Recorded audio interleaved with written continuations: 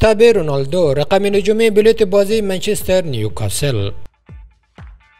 PSG دو مسی دیگر را هم جذب کرد. تیاگو و متیو در اکادمی PSG زوج امباپه هالند در برنابئو استراتژی رئال در نقل و انتقالات فصل آینده. چرا انتقال ژائو فلیکس به بارسلونا منتفی شد؟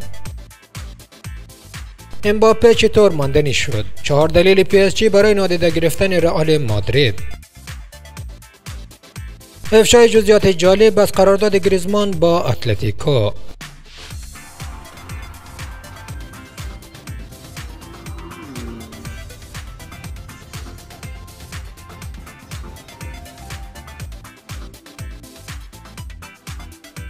چرا انتقال ژائو فلیکس به بارسلونا منتفی شد؟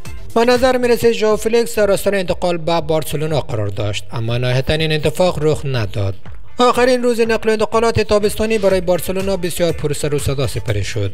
به یکباره گفته شد که ستاره فرانسوی بلوگرانا یعنی آنتوین گریزمان بعد از انتقاداتی که طی هفته های اخیر نسبت به عملکرد او مطرح شده بود در آستانه جدایی قرار گرفته و قصد دارد با تیم سابق خود یعنی اتلتیکو مادرید باز گردد در این بین رسانه های کاتالانی گزارش دادند که ممکن است دو باشگاه بارسلونا و اتلتیکو برای معاوضه انتوان گریزمان و ژائو فلیکس با یکدیگر به توافق برسند. با این حال چنین اتفاقی رخ نداد و فقط گریزمان در آخرین لحظات نقل انتقالاتی تابستانی به اتلتیکو مادرید بازگشت تا بارسا به سراغ جذب لوک دی یونگ برای جانشینی ستاره فرانسوی برود.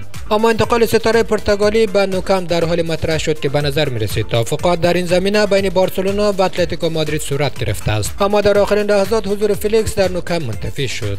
نشریه اسپورت گزارشی در این باره منتشر کرده و مدعی شده که حتی سرمربی اتلتیکو یعنی دیگو سیمونه نیز موافقت خود را برای انتقال فلیکس به بارسا اعلام کرده بود. اما در آخرین لحظه گیل مارین مدیر اجرایی تیم مادریدی با این انتقال مخالفت کرده و نهایتا ستاره پرتغالی در واندا متروپولیتانو ماندگار شده است. البته در سمت دیگر فابریزیو رومانو خبرنگار معتبر ایتالیایی مدعی شده که اتلتیکو از همان ابتدا هیچ قصدی برای فروش ژائو فلیکس نه به بارسا و نه به تیم‌های دیگر نداشته است.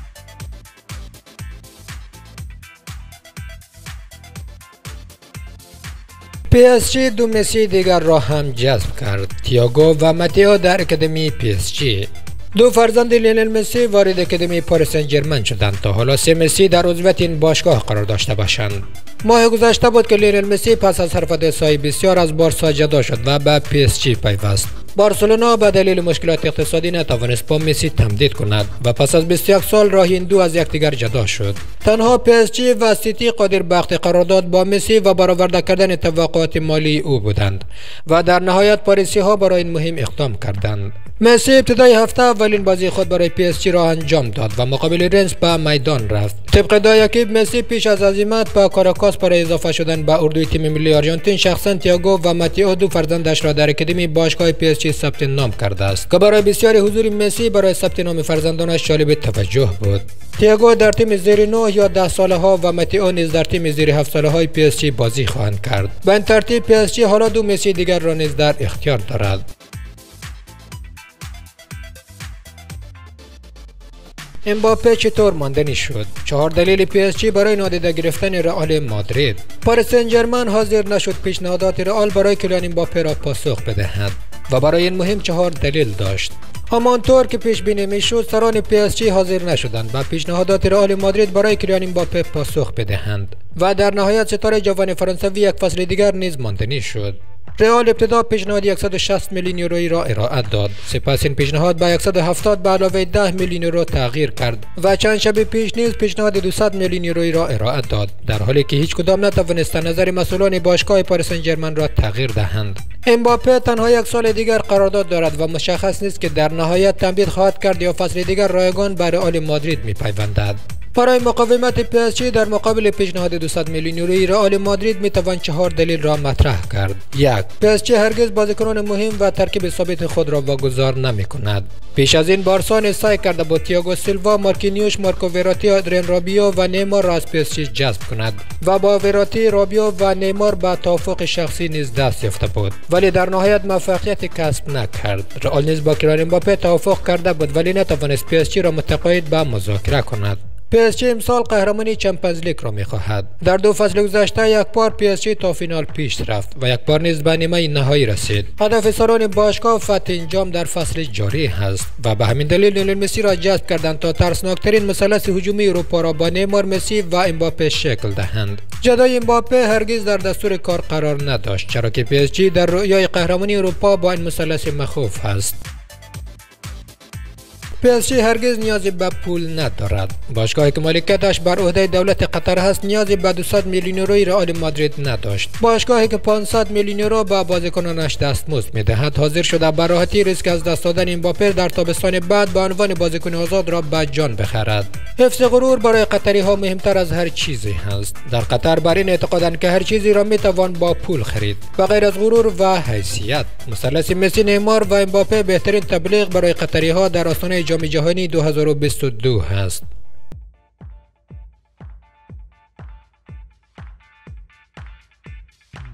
تابع رونالدو رقم نجومی بلیت بازی منچستر نیوکاسل.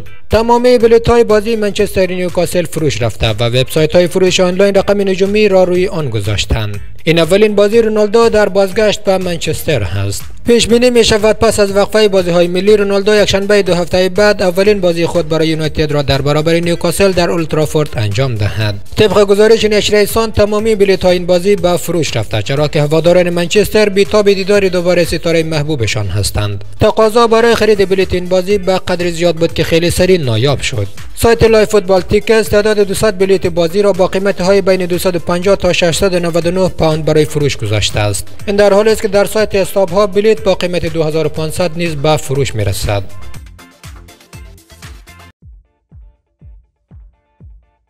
زوج امباپه هالند در او استراتژی رئال در نقل و انتقالات فصل آینده. نشریه اسپانیایی مارکا خبر داده است که رئال مادرید در فصل آینده دو ستاره بزرگ فوتبال اروپا را با هم به خدمت خواهند گرفت. یکی از مهمترین و داغترین اخبار نقل و انتقالات این تابستان انتقال کیلیان امباپه به رئال مادرید بود. رویدادی که سرانجام بی هیچ نتیجه‌ای به پایان رسید و این بازیکن یک فصل دیگر در فرانسه خواهد ماند.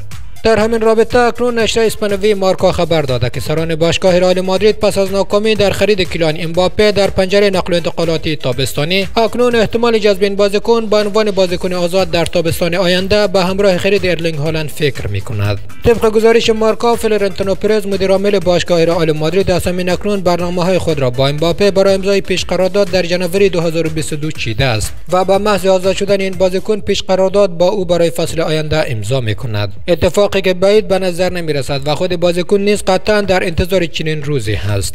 تا هر زودتر برای کهکشانی ها به میدان برود. از سوی دیگر تماس های اولی سران باشگاه رئال برای جذب ارلینگ هالند نیز موفقیت آمیز ارزیابی شده است. مهاجم جوان زنبورهای وستفالن علاقه فراوانی به پوشیدن پیراهن سفید کهکشانی ها و بازی برای این تیم دارد.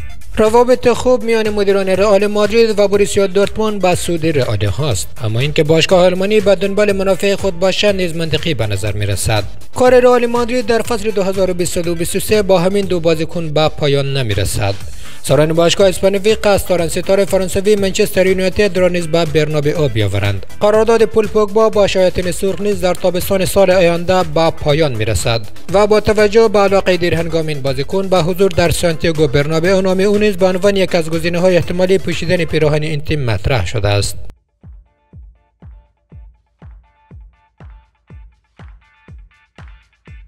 افشای جزئیات جالب از قرارداد گریزمان با اتلتیکو. اتلتیکو تنها در سال دوم قرارداد قرضی گریزمان موظف به فعال کردن بند خرید قطعی ستاره فرانسوی است دو سال حضور آنتوان گریزمان در بارسلونا بامداد دو روز پیش به پایان رسید و ستاره فرانسوی قرضی ولی با بند خرید 40 میلیون یورویی به اتلتیکو بازگشت. خیلی ها معتقدند گریزمان هرگز نباید اتلتیکو را ترک می‌کرد. او هیچ وقت نتوانست روزهای خوبش در اتلتیکو را تکرار کند و برای بارسا یک مهاجم معمولی بود. ستاره‌ای که نتوانست تفاوت ها را رقم بزند در حالی که برایش 120 میلیون یورو نیز هزینه نشده بود.